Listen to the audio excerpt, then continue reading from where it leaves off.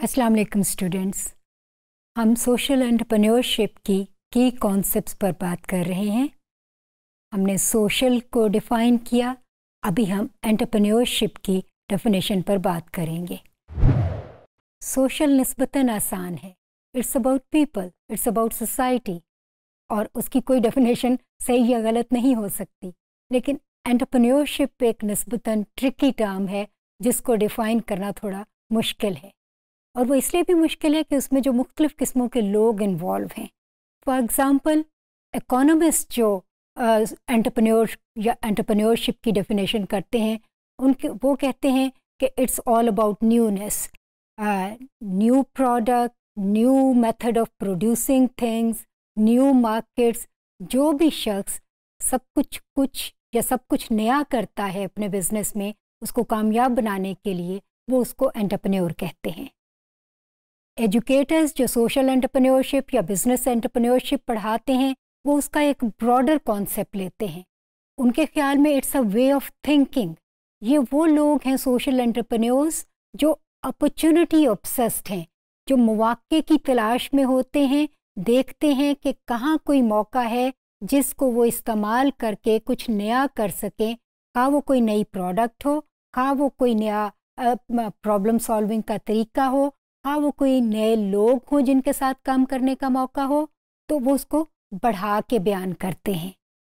अगर हम social entrepreneurship और बिज़नेस एंटरप्रेन्योरशिप की डिस्टिंक्शन को छोड़ भी दें और सिर्फ़ प्रैक्टिशनर एंटरप्रेन्योर की बात करें तो उनकी जो एंटरप्रेन्योरशिप की डेफिनेशन है, इट्स अबाउट इनोवेशन।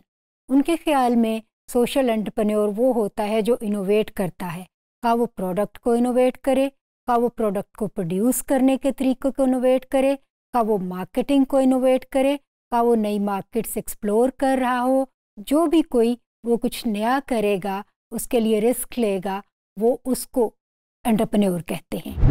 हमारे जैसे कोर्स के लिए कुछ जर्नल करेक्टरिस्टिक्स हमें चाहिए, जिन पे हम एग्री कर सकें, का वो इकोनॉमिस्ट दे रहे हों, का वो एजुकेटर्स दे रहे हों, का वो प्रैक्टिशनर्स दे रहे हों कुछ यूनिवर्सल चीज़ें जो सारे एंटरप्रेन्योर्स पर लागू होती हों। मैंने आपके लिए चार पॉइंट्स जो हैं वो फाइनलाइज किए हैं। Number one entrepreneurs seek opportunities to innovate तीनों चारों डेफिनेशंस जो हमने दी, उनमें अपॉर्चुनिटीज़ की बात हुई और इनोवेट करने की बात हुई कि ऐसे लोग हैं एंटरप्रेन्योर्स जो मौाक़े ढूंढते हैं कि वो कुछ नया कर सके। Number two they pursue strategy of growth ऐसा नहीं है कि उन्होंने दुकान बनाई, चल पड़ी और वो तसली से बैठ गए। वो वो लोग हैं जो अपने काम को एक्सपेंड करने की स्ट्रेटजीज जो हैं, उनके बारे में सोचते हैं, उनको ढूंढते हैं और उनको इम्प्लीमेंट करते हैं। नंबर थ्री स्ट्रेटजिकली चलते हैं और नेटवर्क्स बिल्ड करते हैं।